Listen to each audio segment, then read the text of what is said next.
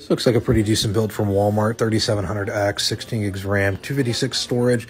And the storage on the SSD is a little low, but for a starter PC, 999 can't really beat it. Maybe you can.